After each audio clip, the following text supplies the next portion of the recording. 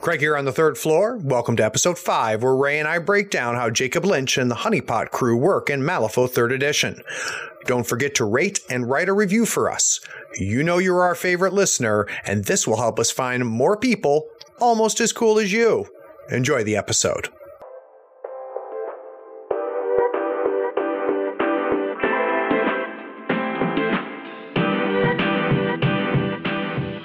There are few things better than sitting at a table, unplugging, and going to battle with some friends. Welcome to another episode of Tabletop Talk. If you're looking for strategies, reviews, and tips on everything related to board games, card games, and miniature games like Malifaux, you are in the right place.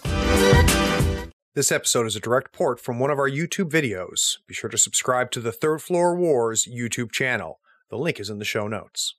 Howdy, folks. Craig and Ray here on the third floor. It's time to talk about the 10 Thunders. Quick disclaimer uh, when we filmed this, the uh, M3 was still in open beta, so some of the details we talk about might change, but thematically everything should remain or about the same. It's time to go to the casino and talk about Jakob Lynch and the Honeypots. So, first, let's talk about Jakob Lynch. Okay. Um, you've declared 10 Thunders, Yep. you're going to bring Jakob Lynch. What should I expect to see? You are going to be suffering from a not condition, but a status effect known as brilliance. Okay. You're going to be suffering from a lot of it, and I'm going to make you suffer for suffering from it. So, that's something that you put on me, right? It is a- So, I it- gain Brilliance tokens. you gain brilliance tokens. It is their main thematic ability aside from their keyword, which we'll talk about, or their keyword ability, which I'll talk about in a second. And Jakob's job is to abuse that. Okay. So he has not as much offense as you might think, but more than he lets on. And Okay. I, I know that's kind of a dichotomy of statements to say, but it's because his melee attack is basically I give you brilliance. Got it. You might take some damage. You reveal cards off the top of your deck, and if mine's higher than yours, you take like a two points of damage or something. But it's that's not what you're trying to Right. do with him. He's got a gun, it's two, three, four, some nice triggers on it. Again, not really what you're trying to do with him. What you're doing with him is you're nuking. Okay. He has an ability called Succumb to Darkness, and it nukes you for the number of brilliance tokens on your character. Gotcha. And if I kill you, I get to summon Honey Honeypot minions. Oh, wow. Okay. So it's kind of like uh, Sonnia's ability with burning. Right. Same kind of concept, except I'm getting the Honey honeypot. And stacking brilliance is kind of what you're trying to do with him. His defensive ability is purely based off of you having brilliance on the model. Um, he himself is one of those pieces that you're using as kind of a support piece until it's time for him to come out and murder two models in an activation. Okay. So he's kind. It sounds like he's he's setting up for for a nuke on his side. Mm-hmm. Um, and I assume when we get to the crew, we're going to find out that brilliance does a lot more than just allows him Oh, to nuke him. So that's great. Um, how vulnerable is he? He's extremely vulnerable. Oh, okay. Yeah, that's one of the things that's really that's that's one of the challenging aspects of what to play with him because his gun's only an eight inch range. His nuke I think is only six inches, so you got to get close to use it.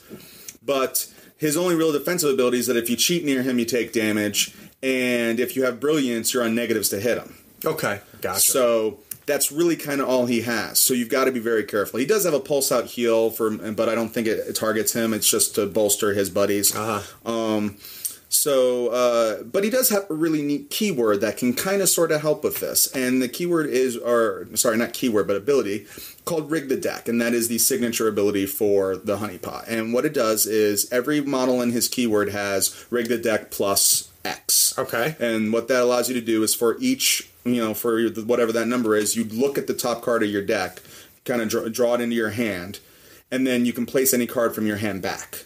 Uh, back into the discard. Back on top of the deck. Oh. So you get to see what's coming, and knowing what you're going to do that turn, you get to determine how you're going to do things. Literally stacking the deck. You're literally stacking Got the it, deck. So got it. like he has rigged the deck too, so you would draw the top two cards of your deck, and then take two cards from your hand, and put it back in any order you want. Got it.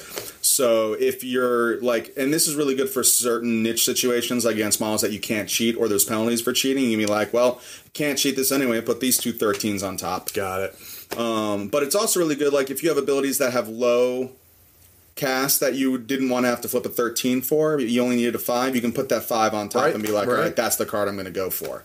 Or if you know you're going to be on negatives to an attack because you're distracted or something like that, you can be like, I'm going to put two moderates on here to increase my chances. So there's a lot of cool tricks you can do with it. Very, very cool. All right, that's Jakob Lynch. So we're talking about a honeypot crew, and it got, Mm. I think the first thing we have to talk about is the totem. So talk to me about Hungering Darkness. Hungering Darkness, aka Huggy, the affectionate, like, you know, creature of death, doom, and destruction that has entrapped poor Jakob Lynch. And he is every bit as devastating on the table as you might think he is um, in the fluff. So he's got a high end, high end damage track, two four six, incorporeal, terrifying, hard hitting henchman. Uh, the things that make him extremely dangerous are he's got built in triggers to give brilliance on everything he does. So if he hits you, you're going to get brilliance. He has an obey that has the suit built in. Oh, wow. That gives out brilliance in addition. Wow. So that's a thing. Um, and uh, he's got crit strike on his melee attack because why not? So that top end becomes seven all of a sudden. that top end can become eight all of a sudden. yeah, right. Because right. he's So a he stone, He he's a henchman. stone. Wow. Yeah, so if you really need to wipe out a model in a single hit, you can pull it off. Sure, sure. It's it's costly. Yeah. But hey, Yeah. how many models can say they top in at eight damage and you know just be like what? Sure. Sure. Um, and his bonus action is absolutely insane because the whole concept is you're spreading brilliance around your opponent's crew, and you mentioned like, well, the crew must use it for things. Here's one of the things it uses it for. He has a six-inch pulse that removes a brilliance off every model in range. Okay. For every enemy model that he does that, he heals one, and they gain slow. oh, jeez. Okay. Wow. So that's just That's- insanity. Yeah, that's tough. That's Um, add into the fact that one of the triggers in Lynch's gun says place Hungry Darkness in base contact with the target. Oh, okay. And you have a really really powerful model that can just inter- ruin your day very quickly. Right. So you, you, the the extra bonus of getting shot by Lynch is you get a Hungering Darkness. Right. Yeah, you get you get a warm hug. Wow, and of course I could stone for that suit if I was playing Lynch if I really needed that to Absolutely, happen. Okay, uh, how about other honeypot models that are of note? Um, well, offense, is there other offense other than? Yeah, there there's a lot of offense in this crew. There's a lot of offense and there's a lot of utility in this crew. This crew right. has some of my favorite mechanics and models in the game. Um, we'll start with uh, my three favorite models, which are the Illuminated, Kitty Dumont, and Beckoners. Okay, So you mentioned hitting. What Yep. else does hitting? Well, illuminated are your thing. They have a shockwave, which is obnoxious. Yep. That's on a like it's a move thirteen. So you so typically you're going to need seven eight, higher end card. Yeah. you know, to get through it, and it pulses out two damage and brilliance. Wow. Okay. So that's a thing. Their melee attack is a two four five or a two three five, something like that. That's pretty good. pretty decent, but they also have a trigger on there that allows them to remove brilliance off of themselves or off of an enemy to increase the damage by one. Okay. So suddenly they're min three. Yeah. And to top it off, they have like armor regen and they start with brilliance on them, so you're guaranteed to get some of that damage out. got it. Got it. Um, this is actually one of the things you can do with Lynch is you can have Lynch charge into like one of your illuminated and slap him with his melee attack and be like, here, have two brilliance. sure. Which, Why not? Which they're going to definitely be. able Which to they're definitely going to be able to use. Got it. Um, so there's your extra damage if you really want it. Um, talking utility. Utility. Yeah. Beckoners have a lore Okay. and they have a ranged attack that puts distract that gives out distracted and brilliance.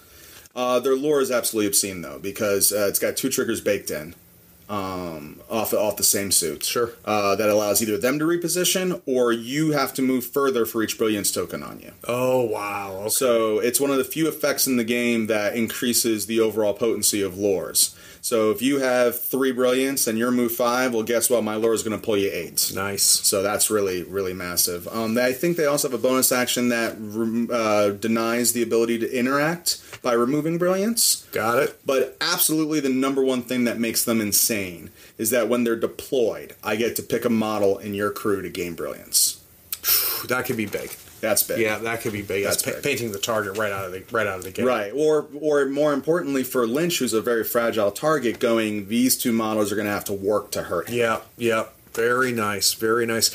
How fragile? I mean, we talked. Lynch has got some fragility. How fragile is Huggy? Um, Uh, not very. He's a henchman with decent wounds, Yeah. decent defense, and willpower. Um, terrifying, and you know, of course, with terrifying, every time you try to do anything, you have to flip Yeah. that duel. So that can be dangerous to deal with. Um, and he's in core. And Okay, that so helps. which really helps against like the pulse damage. Like you know, Yep. he doesn't care about you know that type of stuff. So uh, generally speaking, they're pretty tough. Um, and then add in the my third favorite model is Kitty Dumont. Her repositioning capabilities are absolutely utterly obscene. She has um, an eight inch gun, so if you're engaged, you can't use it, and this is how you shut her down. Actually, Uh-huh. that allows you to reposition a model six inches, but there's a trigger on it that lets you do another three inches, and then she places in base contact. Oh, that's nice. Okay. So you can reposition two models in your crew turn one, for instance, Yeah. like nine inches up the board if you got the triggers, and then she places next to one of them. So that allows you to control a little bit that Mm-hmm. fragility that some of the other models have, because she can be like, uh, "I don't like you being engaged over here. You can come over here now." what kind of what kind of gamer, what kind of player is going to enjoy uh, Honeypot and Jakob Lynch? Uh, if you like deck shenanigans, this is definitely a fun deck to play with. Um, you, every one of these models has the ability to look at those cards and put cards back. That's always a fun thing to do. Um, but uh, and there's so much diversity in what the crew can do. Like we didn't even really talk about Graves and Tannen, but it's like there are two other models that do completely different things, have repositioning, have board control effects. Uh, Gwyneth Maddox has more board control effects. That's the other henchman in in Lynch. You have access to just so many cool little tools to be able to do. And then of course, who doesn't like nuking a model off the board and then getting a model for it? Right, right. You know, so like if that statement alone makes you, you know, go, yeah, that's cool. or if you just like the idea of playing, you know, a drug pusher who's actually doing something with the drugs that he's pushing, like that's kind of the thematic behind Lynch is that he's this ne'er do well that's going, hey, hey, do you want to try some of this? And then you're like, then you get hooked, and now he's got his claws in you. That's cool. So it's like it's just it's a great flavorful crew that has a lot of a lot of versatility. to Dripping in theme. Yeah. Got it. Um, f- uh, for new player, is this a high learning curve, shallow learning curve? I feel it's actually a pretty shallow learning curve. Good. Actually, it's it's the, the crew does what it does. You're stacking brilliance on models, and then you're using that brilliance to buff your ability to do things to Pretty your opponent. Pretty straightforward. The hard part about this crew is probably going to be the hiring process Yep. because. You want Gwyneth, but you want Kitty. You want Graves, and you want Tan. You want, you know, you want all the things, Yeah. and you can't have all the things. Yeah. So that's where I feel like his crew really becomes. That's where the skill for his crew comes in. Is more in how you build the crew to deal with the threats that you see across the table. Um, playing the crew is is pretty straightforward and very enjoyable. Very, very cool. All right, that's Jakob Lynch in the Honeypot. Thanks for listening. Be sure to rate and write a review on this podcast so we can find more people almost as cool as you are. Check us out on Facebook, Twitter, and YouTube by searching for Third Floor Wars. That's T H I R D. We'll catch you next time on the third floor.